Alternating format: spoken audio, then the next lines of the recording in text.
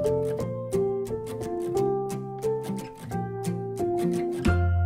everyone, welcome to Book Chat. My name is Leslie and I run the Reading Safari and stream programs through Monterey County Free Libraries.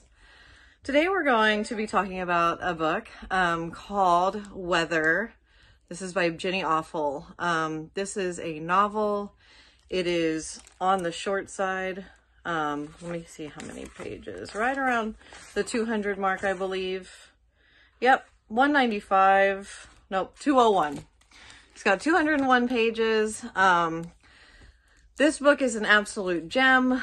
It is not a conventional novel, so if you like conventional, this might not be the book for you. However, I do think that it is a great capture of uh, this moment in time, particularly as it relates to uh, climate change and general feelings after the 2016 election.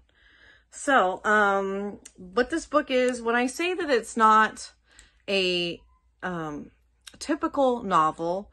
It is, what I mean is, is it's basically a woman's interior monologue. Um, and the woman in question is named Lizzie. She is a um, academic librarian, so she works on a college campus. And she's not actually a degreed librarian. Um, so she, it's a series of her observations um, and, you know, thoughts and things like that and it's very very um it's very funny but also it has this kind of undertone of um, anxiety and dread, which I think a lot of people have been feeling um, in the past several years.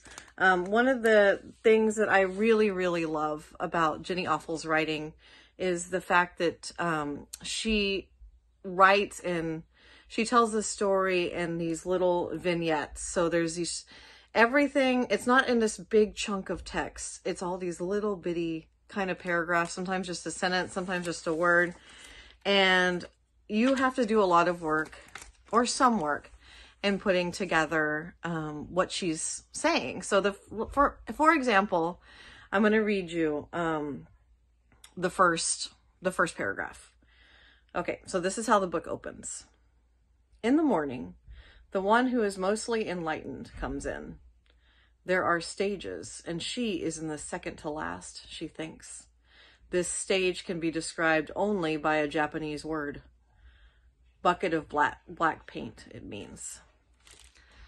So for me, when I first read that, I was like, okay, what? You know, I was like, the woman who comes in where? You know, it's just normal um, kind of plot devices are sort of ignored in this book and in other books by her.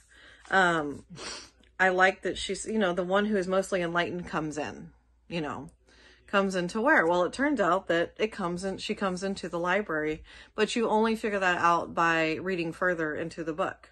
And not that much further, but that's what I'm saying is that a lot of stuff um, happens by in your own brain and the reader's brain by having to kind of put it together. So Lizzie is not only a librarian, but she's also married. Um, she has a son named Eli. Her brother Henry is a former drug addict. And even though he has beat his addiction, it's still, you know, uh, usually one day at a time for him.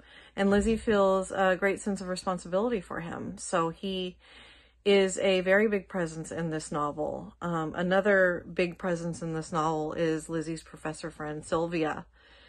Sylvia has a um, podcast on climate change.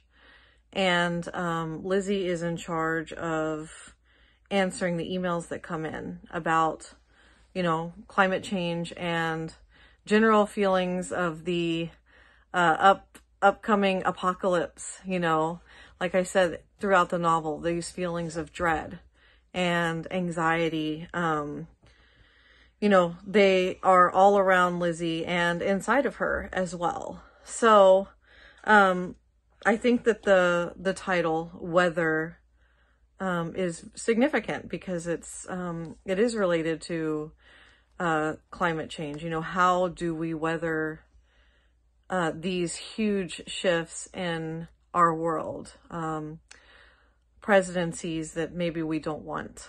Um, climate change, these things that are that are happening that are scary and make us feel not safe. This is a book about that, but it's not dark, you know.